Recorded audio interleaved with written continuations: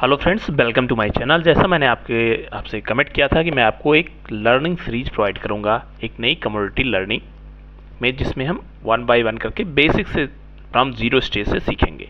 तो सबसे पहले आप मेरे चैनल पर नए हैं तो लाइक कमेंट सब्सक्राइब करिए। यहाँ की लर्निंग आप कहीं भी अप्लाई कर सकते हैं। एम की ट्रेडिंग करें एन करें, या फिर इक्विटी करें कमोडिटी करें, वो आपके ऊपर डिपेंड करता है। जहाँ भी करेंगे, सभी जगह आपके लिए अप्लाई होगी। उसके साथ में आपको टेलीग्राम चैनल का लिंक डिस्क्रिप्शन बॉक्स में मिल जाता है। यहाँ से आप मुझसे जुड़ सकते हैं।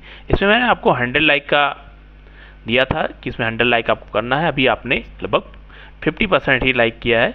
इस वजह से आप थोड़ा सा लाइक यहाँ बढ़ाएँगे तो हम फर्दर इसके लिए और आपके लिए अपडेट रेगुलर वे से आने लगी लर्निंग पॉइंट ऑफ़ व्यू के लिए। तो सबसे पहले फ्रेंड्स हम चलते हैं जो हमारी आज की लर्निंग स्टार्ट होती है। इसका आपको लिंक डिस्क्रिप्शन बॉक्स में मिल जाएगा। तो हम पहले देख लेते हैं जो हमारी लर्निंग है वो क्या है।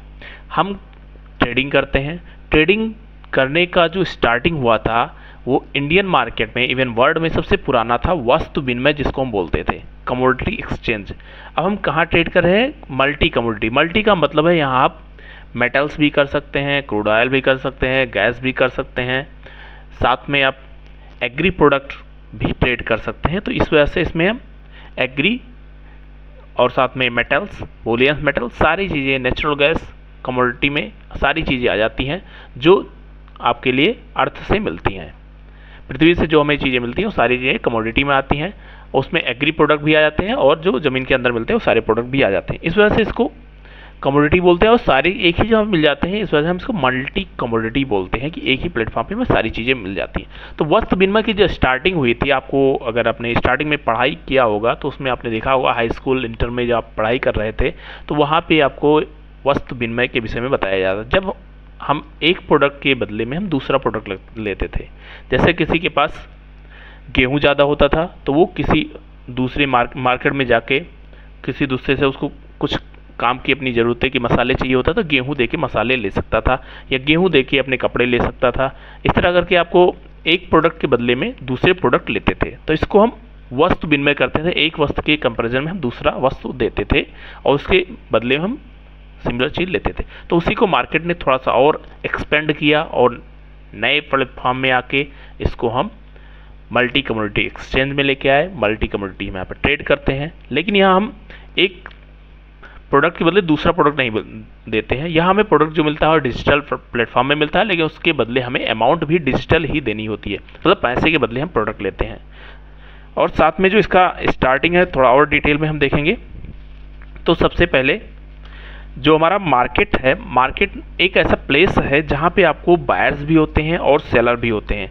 बायर और सेलर आपस में डिस्कशन होता है उनका कि किस प्लेटफॉर्म पे लेंगे और क्या उन्हें प्रोडक्ट चाहिए? अगर उनका दोनों का म्यूचुअल अंडरस्टैंडिंग होती है तो वहाँ पे वो कोई चीज़ बाई होती या सेल होती। सिंपल आप ले सकते हैं डिमांड सप्लाई जैसे जिस प्रोडक्ट की डिमांड ज़्यादा होती है, उसकी सप्लाई भी अगर उतनी ही है तो प्राइस बैलेंस रहती है। इन केस अगर डिमांड ज़्यादा है सप्लाई कम हो जाती है तो वो उसका जो अमाउंट होता है प्राइस होता है अनबैलेंस हो जाता है। इस वजह से मार्केट में उसकी प्राइस में फ्लक्चुएशंस आता रहता है, जब तक कि वो लेवल में नहीं आता है।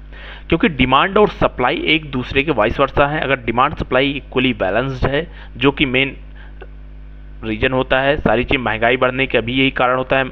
एक प्रोडक्ट अगर ज़्यादा कॉस्टली होता जा रहा है तो उस टाइम पे इसका मतलब है कि उसकी सप्लाई कहीं ना कहीं इंटरप्ट हो रही है।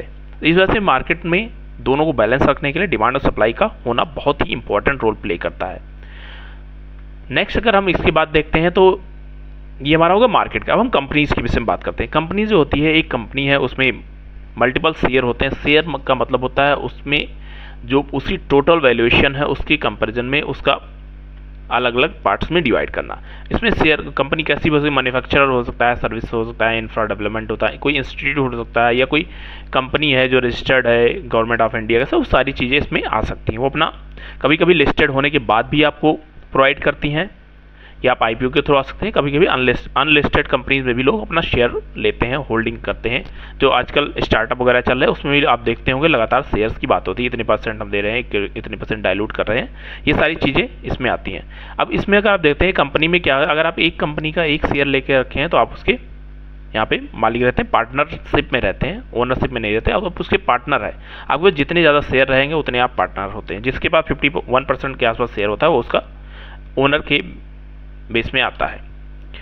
अब जो शेयर मार्केट है वो एमसीएक्स और एन दोनों को हम मिला के लगभग बोलते हैं। इसमें हम दो बेस से स्टडी करते हैं, एक फंडामेंटल एक टेक्निकल जो टोटल हम यहाँ पे देखेंगे और सीखेंगे, हम देखेंगे टेक्निकल एनालिसिस टेक्निकल एनालिसिस में हम support resistance trend line candlestick pattern ये सारी चीज़ें डिटेल में देखेंगे। टोटल 10 से 15 टॉपिक है जिसको मैं वन बाय वन करके कवर करूँगा। अब सबसे पहले जो बेसिक स्टार्टिंग होती है, वो स्टार्टिंग होती है जो मैं बोलता हूँ ट्रेंड निगेटिव है ट्रेंड ऊपर है, वो होता है डाउ थ्योरी डाउ थ्योरी सबसे पहला इन्होंने इन्वेंट किया था चार्ल्स डाउ ने, कि सबसे पहले मार्केट में जो इन्होंने एक एवरेज निकाला था, जो टॉप स्टॉक थे, उनके बेस पे स्टडी किया था कि मार्केट कैसे परफॉर्म कर रहा अगर एक ट्रेंड में ऊपर जा रहा है तो उसमें हायर हाई करता हुआ जा रहा है तो ऊपर के ट्रेंड है, या फिर डाउन का ट्रेंड है। सारी चीज़ सबसे पहले इनको फादर ऑफ़ टेक्निकल एनालिसिस भी बोलते हैं। चार्ल्स डाउ को। सबसे पहला जनरल में इस्टेब्लिश किया था, सबसे पहले पब्लिश भी यहीं पे हुआ था। इसको आप डिटेल में यहाँ पे स्टडी कर सकते हैं। नेक्स्ट, इसके बाद अगर आप देखते हैं तो बेसिक जो स्टॉक मार्केट है, उसमें दो वेव्स होती हैं, एक प्राइमरी वेव्स और सेकेंडरी वेव्स। सेकेंडरी वेव्स, उन वेव्स को कहते हैं, प्राइमरी वेव्स तो हो गई कि आपका ट्रेंड कैसा। आप ट्रेंड है, जस्ट ओके। प्राइमरी वेव हो गई। सेकेंडरी वेव क्या होती है? जो सेकेंडरी रिएक्शन है, जब कभी भी ऊपर मार्केट जाता है, जैसा कि मैं आपको रेगुलर वे से बताता हुआ चल रहा था कि मार्केट जब भी ऊपर ये निकल रहा है तो थोड़ा ये करेक्शन आ रहा है तो ये इसके लिए सेकेंडरी वेव का काम कर रही है। फिर ऊपर गया, ये दोबारा इसके लिए सेकेंडरी ये सारी जो रिएक्शन है सेकेंडरी वेव में जब तक मार्केट एक ट्रेंड में चलता जा रहा है प्रीवियस लो को क्रॉस नहीं कर रहा है, वो प्राइमरी ट्रेंड को फॉलो कर रहा है बुल का मार्केट है। सिमिलर जस्ट इसका अपोजिट होता है बियर का मार्केट बियर का मार्केट डाउन ट्रेंड में आता हुआ जा रहा है पुल बैक आया, फिर डाउन ट्रेंड आया, फिर पुल बैक डाउन ट्रेंड ये लगातार लोअर लो का फॉर्मेशन कर रहा है। तो ये प्राइमरी वेव और सेकेंडरी वेव दोनों आई थिंक आपको क्लियर हो गई होगी। जब ट्रेंड के अगेंस्ट में कुछ भी फॉर्मेशन होता है तो वो सेकेंडरी वेव में आता है। अब नेक्स्ट इसमें आप देखते हैं तो बेसिकली तीन टाइप के मार्केट होते हैं। एक होता है बुल का मार्केट दूसरा होता है बियर का मार्केट तीसरा होता है रेंज बाउंड मार्केट होता है।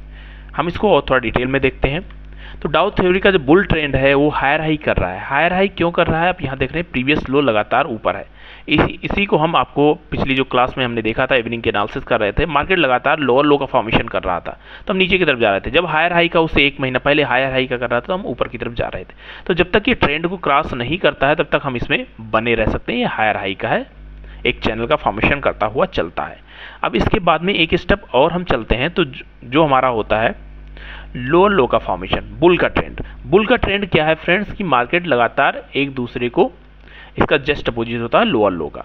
अब इसमें हमें स्टार्ट कहाँ करना है एंड कहाँ करना है? अगर आप इसमें देखेंगे एंट्री पॉइंट के लिए तो जब ये फ़र्स्ट हाई बनाए सेकंड करेक्शन के बाद भी इसको क्रॉस करता तो यह हमारा एंट्री पॉइंट होता है. और जब तक इस लो को प्रीवियस लो को क्रॉस नहीं करता, तब तक हमारा एग्जिट पॉइंट नहीं आता. हमें ट्रेंड को फॉलो करना होता है. स्टॉप लॉस यहाँ यहाँ हम ट्रेल करते हुए चलते हैं. अब इनकेस इसके लो को ही क्रॉस कर रहा है तो ये हमारे लिए जो हमारा ट्रेलिंग स्टॉप लॉस होता है हिट करके निकल जाता है। ट्रेलिंग स्टॉप लॉस कैसे लगाते हैं, उसको भी हम देखेंगे वीडियो में वन बाय वन करके तो आप उसके लिए मेरे साथ जुड़ सकते हैं। नेक्स्ट इसके बाद सेकेंड फ़ेज़ हम देखते हैं कि जो बियर का मार्केट अभी हमने बुल का मार्केट देखा। बियर का मार्केट में जो एल लिखा है मतलब लोअर हाई है। प्रीवियस हाई से उसका नीचे हाई अब यहाँ देख रहे हैं लगातार जस्ट अपोजिट होता है। जो पहला हाई इसने बनाया है दूसरा है उससे नीचे, तीसरा है उससे नीचे, चौथा है उससे नीचे।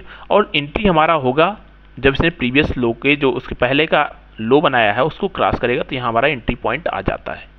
अब इसके बाद में एग्जिट पॉइंट हमारा ये रहेगा। एज पर टेक्निकल व्यू की बात कर रहे हैं हम, पहला टेक्निकल एनालिसिस है। इसके बाद मार्केट लोअर लो का फॉर्मेशन करता हुआ चल रहा है तो उस रेंज में आपको बने रहना चलते जाना है। लोअर लो करता हुआ जा रहा है। जब तक ये हायर लो नहीं करता है, जब तक ये लो को क्रॉस नहीं करता, जैसे यहाँ का लो लोअर लो था, इसका हाई लो मतलब इसके ऊपर निकला अब इस हाई के भी अगर, जो लोअर हाई था, इसको भी क्रॉस कर रहा मतलब यहाँ आपको एग्जिट करके निकल जाना है आपका स्टॉप लॉस हिट कर देना है, या फिर ट्रेलिंग स्टॉप लॉस हिट हो जाना चाहिए। अब नेक्स्ट इसके बाद जो मार्केट में ये तो बेसिक ट्रेंड हो गया। अब इसमें बेसिकली जो परफॉर्मेंस करते हैं, दो लोग होते हैं वो होते हैं एफ़ आईज और एक आजकल नई कम्युनिटी आ गई है वो है रिटेलर्स पहले भी थी लेकिन कोविड की बाद से कुछ ज़्यादा एक्टिव हो गई रिटेलर्स रिटेलर्स अपने आप में बहुत ज़्यादा पावरफुल रख, रखते हैं। जिस मूवमेंट में जिस डायरेक्शन में चलते हैं जैसे इंडियन मार्केट में अगर आप देखते हैं तो बहुत अच्छा पार्टिसिपेशन हो रहा है। क्योंकि अभी जितनी हमारी यहाँ पे ट्रेडिंग होनी चाहिए जितना इन्वॉल्वमेंट होना चाहिए उतने लोग अभी पार्टिसिपेट नहीं कर रहे हैं। एज पर जो डेवलप्ड कंट्रीज़ हैं उसके कंपेरिजन में तो धीरे धीरे रिटेलर्स की पावर यहाँ पे बढ़ रही है। तो डेफिनेटली हमारे इंडियन मार्केट में जो हम निफ्टी बैंक निफ्टी या फिर जो भी, जिस भी सेक्टर में हम ट्रेडिंग करते हैं, वहाँ पे हमें अच्छा ट्रेंड देखने को मिलता है। अगर आप यहाँ पे रेगुलर बेसे कुछ स्टडी चाह रहे हैं और सीखना चाह रहे हैं तो आप मेरे चैनल के साथ जुड़ सकते हैं। अभी तक हमने यहाँ पे देखा जो बेसिक ट्रेंड था, वो क्या होता है, किस तरह से हम इसमें एनालिसिस करते हैं, उसको हम अभी फर्दर नेक्स्ट वीडियो में देखेंगे। अगर आपको ये वीडियो यहाँ तक पसंद आई है तो आप यहाँ देख सकते हैं लाइक कर सकते हैं। ये आपके लिए एक जस्ट इंट्रोडक्टरी वीडियो ही इंट्रोडक्शन था, किस तरह से ट्रेड होता है। अब इसके बाद में हम डिटेल में कैंडलस्टिक पैटर्न किस तरह से काम करता है, जो हमारी फाइव स्ट्रेटजीज हैं, वो कैसे काम करती हैं सपोर्ट रजिस्टेंस साथ में। हम डिमांड जोन सप्लाई जोन कैसे मार्क करते हैं, सारी चीज़ें आपके लिए वन बाय वन करके मिलती रहेगी। लेकिन आप वीडियो में लाइक आना चाहिए। तभी यहाँ पे आपके लिए रेगुलर अपडेट मिलेगा। आप लोग व्यूज़ करते हैं, लेकिन लाइक नहीं करते। अगर लाइक नहीं आएगा तो मैं बीच में इस लर्निंग सीरीज़ को यहीं पे बंद कर दूँगा। आपके लिए फिर रेगुलर अपडेट नहीं मिल पाएगा। थैंक यू फ्रेंड्स नए हैं तो लाइक कमेंट सब्सक्राइब करके बेल आइकन दबाना मत भूलिएगा।